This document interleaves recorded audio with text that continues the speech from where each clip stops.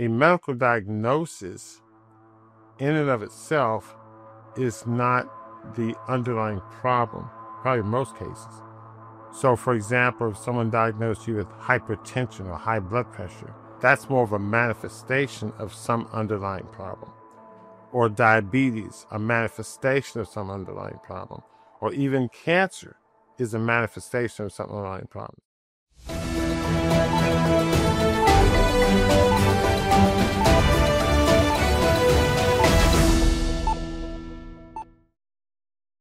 So, as I said, we're here at the clinic and we were dealing with lots of patient complex issues. And today we're going to talk about two patients with heart failure and blood clots.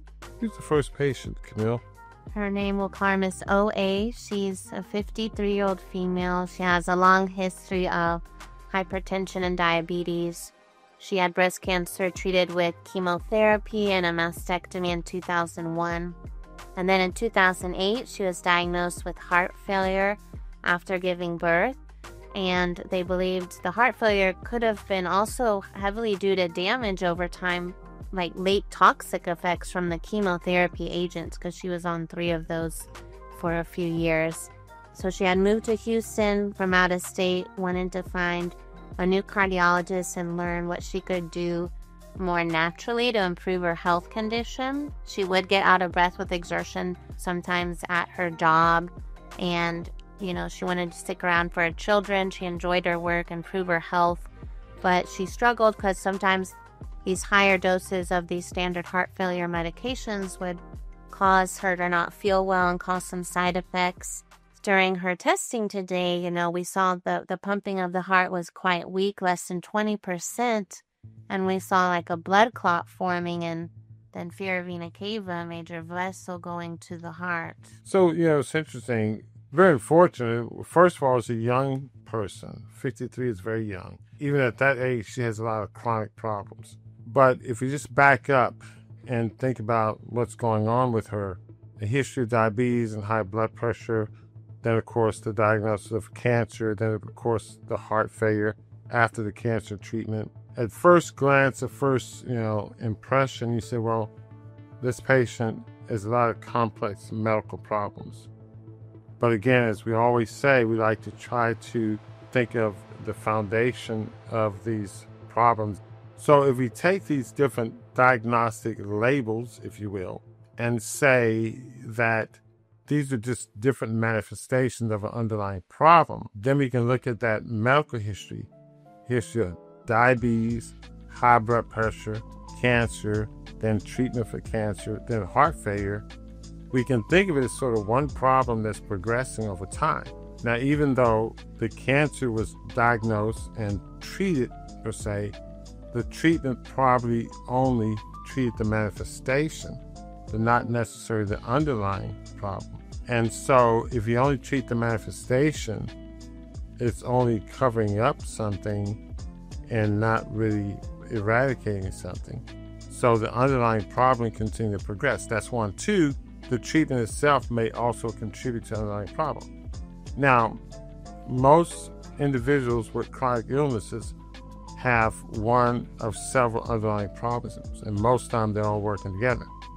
One underlying problem is inflammation.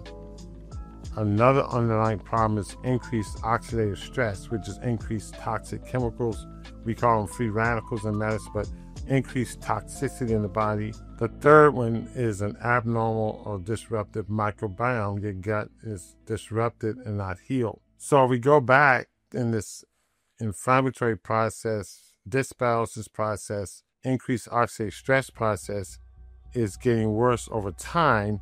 You're having different manifestation of this underlying process. So now she comes and she has worsening heart failure, in part due to the underlying process, probably part due to the treatment of one of the underlying process, well, the, one of the diagnoses. And then she also has a new problem, yeah. which would appear to be a blood clot.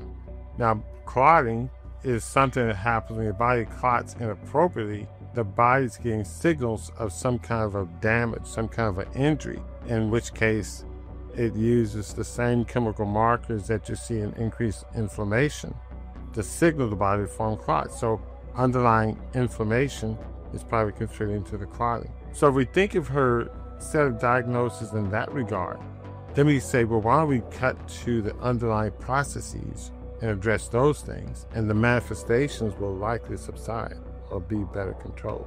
When listening to you discuss her condition, I think our approach with her, what test did we get? Blood work and we did echo and the ultrasounds, lots of, like you said, inflammatory markers, looking at stress in the blood vessels, especially, or screening for like autoimmune and screening for lots of causes of the inflammation. And we know that there's areas of her diet to work on and improve, mm-hmm. Which she was really interested in doing. Mm-hmm. So the approach we will take, as Camille said, and then the echo you said showed the heart to be very weak. There was also fluid around the heart called pericardial effusion, which could be a pericarditis and it's inflammation around the heart. So there's evidence of systemic inflammation, which is associated with increased oxidative stress.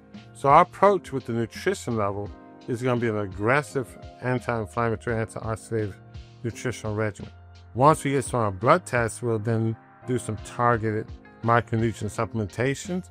We can also do things like infrared sauna, which has an anti-inflammatory effect, ozone therapy.